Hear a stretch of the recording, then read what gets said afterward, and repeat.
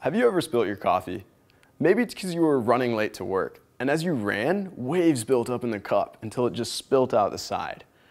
Or maybe it's because you stopped too suddenly, and as you stopped, the coffee just kept on going.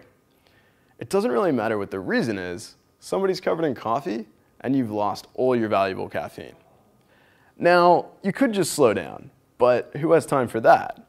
So what I'm interested in is what's the fastest way to get a cup of coffee from point A to point B without spilling a drop. That's what my work looks at.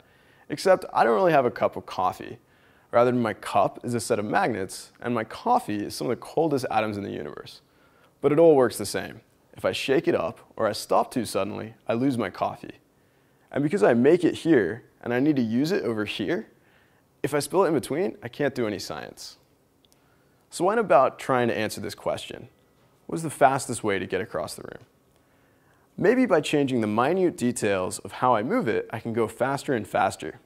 So that's what I did. I spent days trying to do this. And I realized really quickly I was bad at it. Not only did I get bored and distracted really quickly, but I couldn't really deal with changing two things at once. If I did, I'd just get really confused really quickly. And because I had hundreds of things to change, I was getting nowhere quick. So I kind of gave up and I outsourced my work to a computer program, an artificial intelligence. Now this worked much like I do.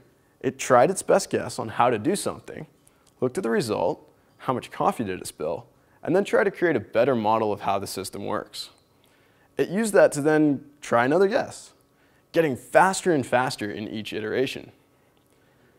So I let this loose on my system, and the results were astounding. In a mere afternoon, it went from taking 20 seconds to faster than a blink of the eye. This then tells us really interesting physics about how quantum mechanics works with temperature and systems that are fast moving and haven't really had time to relax yet.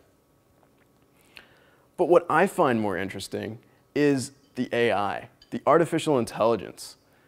That is the perfect lab mate. They don't get tired, they don't get sick, and they can deal with complexity more than anyone in this room can. So what I'm here to tell you today is the artificial intelligence is already better at physics than you. You've just got to get it to work for you.